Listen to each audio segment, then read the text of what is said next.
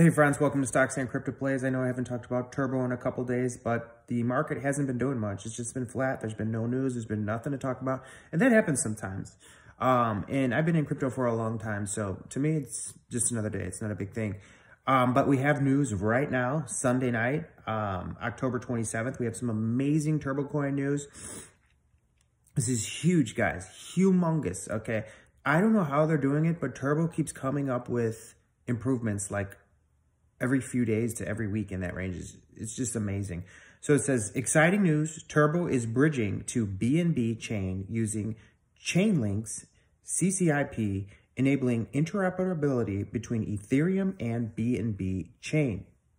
This will expand Turbo's ecosystem and create even more opportunities for our community. So they've posted this. You've got the Turbo and you've got the Chainlink. Chainlink's a very popular ecosystem. I think per coin, it's like $10 or $11 per coin for Chainlink.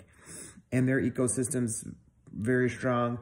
And they are now doing a great thing for Turbo because people that want to swap coins, a lot of people don't buy off of exchanges and they'll just want to swap coins and they'll use different ecosystems and they'll have a lot of money on a certain platform and uh, not platform, but like, I don't know what you want to call it, but um, I guess platform, but not an exchange and they want to swap it to something else. And let's say they had it on the Ethereum network.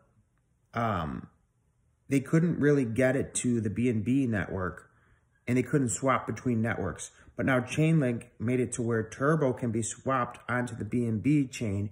Um, and BNB is like the Binance uh, system, Binance coin, and all that. So this is really great bullish news for Turbo coin. What do you guys think about it? It's just going to make Turbo even more popular.